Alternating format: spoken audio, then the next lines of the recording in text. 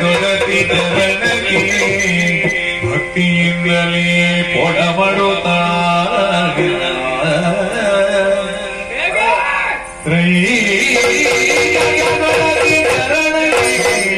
ಭಕ್ತಿಯಿಂದಲೇ ಕೊಡಬಡುತ್ತಾರೆ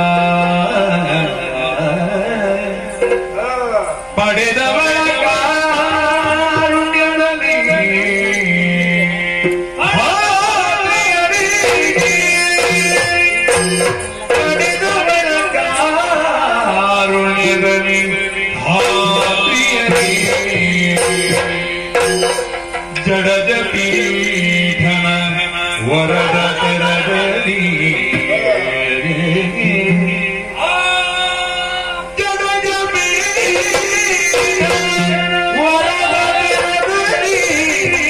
पडिनु सुख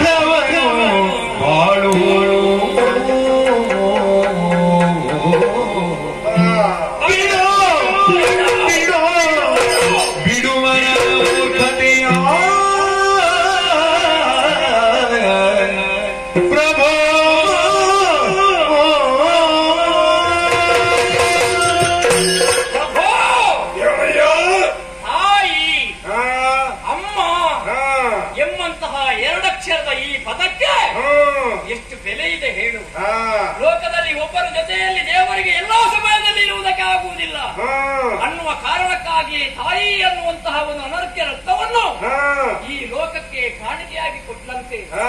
ಮಗುವನ್ನು ಮೊದಲಾಗಿ ಕರೆಯುವುದೇ ಅಮ್ಮ ಎಂಬ ಹಾಗೆ. ಕರುವನ್ನು ಮೊದಲಾಗಿ ಕೂಗುವುದೇ ಅಂಬ ಎಂಬ ಹಾಗೆ. ಅಂದ್ರೆ ತಾಯಿಗೆ ಅಂತಹ ಒಂದು ಯೋಗ್ಯತೆ ಇದೆ ಪ್ರಭು. ಹಾಗಿದ್ರೆ ಅಂತಹ ತಾಯಿಗೆ ಅಷ್ಟು ಯೋಗ್ಯತೆ ಇರುವಾಗ ಅಂತಹ ಅಮ್ಮನಿಗೆ ಒಂದು ಯೋಗ್ಯತೆ ಇರುವಾಗ ಇವಳು ಜಗದ ತಾಯಿ ಹದಿನಾಲ್ಕು ಲೋಕದಲ್ಲಿಯೂ ಎಲ್ಲರನ್ನೂ ಪರಿಪಾಲಿಸುವಂತಹ ಆದಿಮಾಯೆಯಾಗಿದ್ದಾಳೆ ಅವಳನ್ನು ನೀನು ಮದುವೆ ಆಗಬೇಕು ಅಂತ ಬಯಸ್ತಿ ಪ್ರಭು.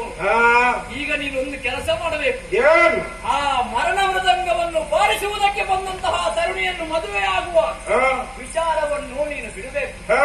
ನೀನು ಇನ್ನೊಮ್ಮೆ ಬೇಡಬೇಕು.